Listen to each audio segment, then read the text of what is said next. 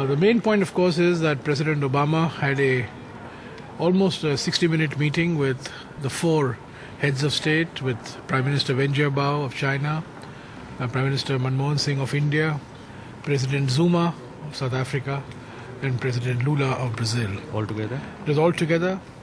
Uh, President Obama came for the meeting. Uh, the four prime ministers, the two prime ministers and the two presidents were present. Uh, and uh, there was a very fruitful discussion uh, on some issues that were becoming the bone of contention.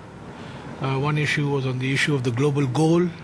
What type of global goal should adopt? Because India is very insistent that the global goal should be expressed only in terms of temperature increase and not in terms of percentage emission cuts or parts per, per million. Uh, second issue, of course, was on the transparency issue, the reporting issue, the measurement, reporting, and verification issue. And the third was a proposal by the Europeans uh, that we should start negotiations on a new legally binding treaty.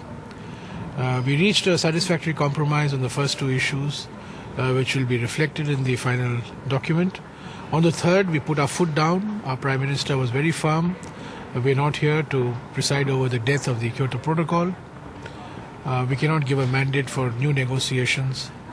Uh, and uh, President Obama said that he will convey that to the Europeans. Where does this leave the other smaller smaller nations? What kind of a reaction? Well, now it goes to the plenary. Uh, as you know, the AOSIS group, uh, 43 countries, the Association of Small Island States, they have their own viewpoint. Has any Africa discussion has its own viewpoint. There was a substantial discussion uh, in today's meeting, uh, which President Obama himself attended. Uh, in the in the meeting of ministers and heads of state, where he spoke about financing. Uh, so there was a lot of useful discussion today. But the high point was the meeting between Mr. Obama and the four basic countries. I think this established uh, the force of BASIC in this conference.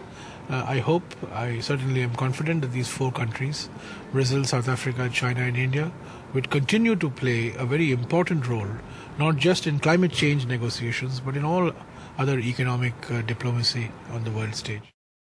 Tuba.com